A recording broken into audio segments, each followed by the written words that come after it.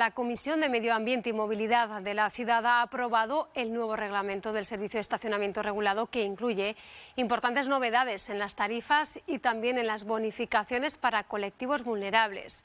Susana, ¿cuáles son estos cambios?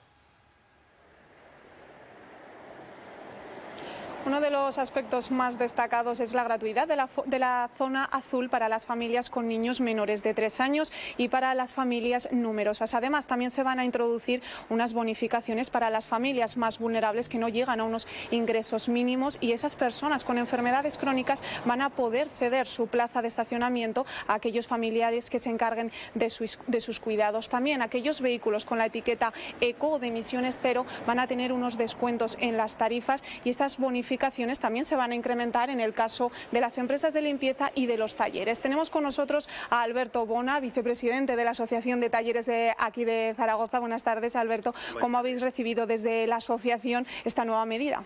Pues ha sido una muy buena noticia, eh, dado que eh, estamos una gran mayoría de talleres dentro del núcleo urbano eh, y como se va, como ese borrador que tiene que tiene preparado el ayuntamiento, pues va, a ser casi la totalidad de toda Zaragoza, pues nos, nos viene, o sea, estamos muy afectados por esta por esta medida.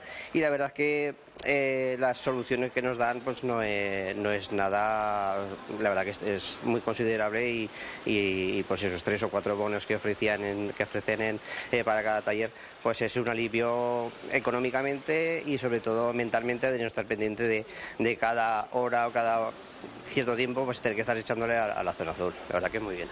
Claro, porque como dueño de, un taller aquí en, Zaragoza, ¿cuáles son esos problemas diarios que encontráis? Bueno, pues el problema diario es a las nueve y cuarto, tienes que estar echándole al coche, eh, tienes una hora y cuarto como máximo, luego tienes que volver a echar, o sea, el problema es que si se te pasa nosotros no tenemos un coche solo y no es nuestro, porque si es tu coche, pues controlas un solo coche y es el tuyo, pues controlas tu matrícula y controlas eh, tu, eh, cuándo te va a caducar. Pero cuando tienes cuatro o cinco coches, como yo tengo ahora mismo esta tarde, pues eh, ahora mi compañero acaba de echar a la zona azul, tienes que estar pendiente porque si no, como se te pase, ya son mínimo tres euros y medio, si se te pasa en la media hora son ocho euros y si se te ha pasado, si te ha olvidado ese coche aparcado en la calle y hasta el día siguiente no te has acordado, ya son 20 euros. Entonces, para nosotros económicamente y ya te digo, psicológicamente es un alivio el tener, eh, poder despreocuparte de cuatro coches, tener, poderlos tener en la calle y poder hacer nuestro trabajo que es reparar coches, no estar pendiente de la zona azul que no se, que no se te pase. Económicamente ya lo decías, pero también lo podemos ver ahí, son todos los tickets en, en, lo que lleváis de año. Esos son todos los tickets que tenemos, que llevamos en este año, no sé, ya habrá unos mil 500, 1.300 euros más o menos y la verdad que, bueno, eh, solamente el montón ya se ve, ya se nota.